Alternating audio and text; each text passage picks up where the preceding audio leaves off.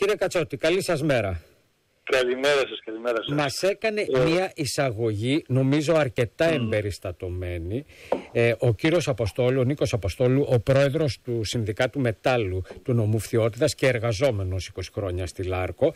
Είπαμε όλα τα περί ε, παραγωγής ε, ενός εργοστασίου πιθανότατα που θα μπορούσε να ναι, υπάρξει ναι. δίπλα. Από την πλευρά της κυβέρνησης, αυτό που λέει ο κύριος Χατζηδάκης είναι ότι αφενός μεν υπάρχουν πολλά, χρέη 600 εκατομμυρίων ευρώ της επιχείρησης, εξ αυτών τα 357 εκατομμύρια είναι για τη ΔΕΗ και το δεύτερο θέμα είναι ότι προκαλεί περιβαλλοντικά θέματα και μολύνει αγρίως το νευοϊκό αλλά και δεν πληρώνει τέλη ρήπων.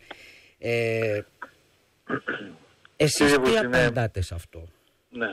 Ακούστε, καταρχήν ε, πρέπει να χαιρετήσουμε την κοινή στάση των εργαζομένων, την ε, συμμετοχή με 100% στην απεργία το προηγούμενο Σάββατο.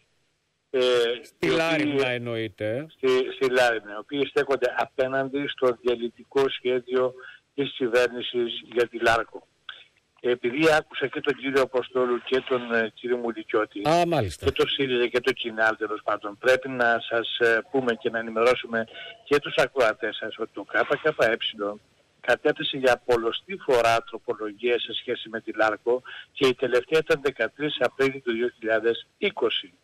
Σε αυτή την τροπολογία λοιπόν ε, στάθηκαν, δεν στάθηκαν κανένα από τα κόμματα. Την απέρριψαν όλοι.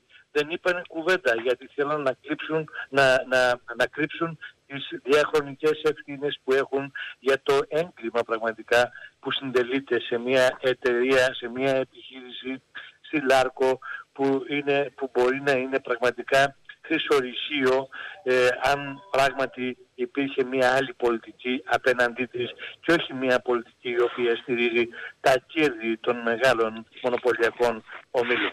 Το ΚΚΕ στέκεται απέναντι σε αυτά τα εγκληματικά σχέδια. Τα χρέη στην επιχείρηση τα δημιούργησαν τα Golden Boys τα οποία ε, διόρισαν οι κυβερνήσεις μέχρι τώρα και όχι οι εργαζόμενοι οι οποίοι παράγουν τον πλούτο.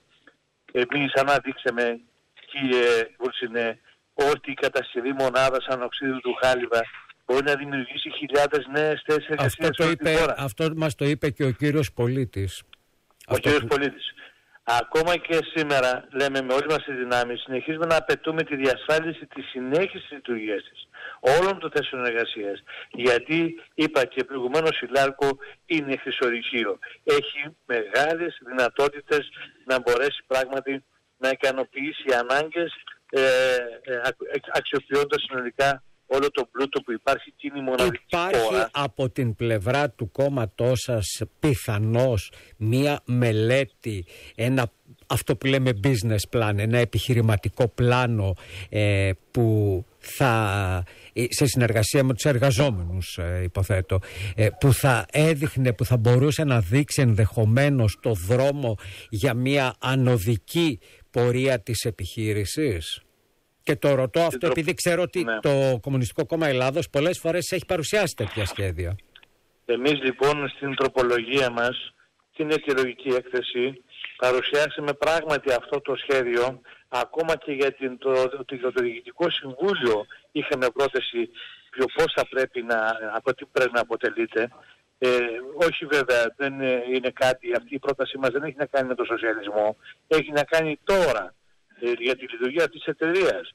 Και η, η τροπολογία μας αυτή είναι πολύ σημαντική και είναι στα χέρια του ίδιου του εργατικού κινήματος να την παλέψει γιατί οι, αστι, οι αστικές δυνάμεις, αυτές που στηρίζουν το σχεδιασμό των μεγάλων μονοπωλιακών ομίλων, την έχουν απορρίψει. Γιατί ακριβώς οι μονοπωλιακοί όμιλοι έχουν άλλες επιλογές για την, ε, για τον, ε, τον ερεκτό πλούτο που υπάρχει στην περιοχή, ε, για το πώς θέλουν να αξιοποιήσουν συνολικά προς όφελός τους όλη αυτή την δράση στην περιοχή. Να δούμε... Εμείς σαν δίκτεση έχουμε την, αυτή την επιλογική έκθεση που λέμε ότι η Λάρκο έχει πραγματοποιήσει με επιτυχία πειράματα παραγωγής ανοξείδωτου χάλυβα. Γιατί δεν συνεχίζει; Έχει, ε, έχει πραγματοποιήσει πειράματα παραγωγής διαχωρισμού του νικελίου και του κοβαλτίου.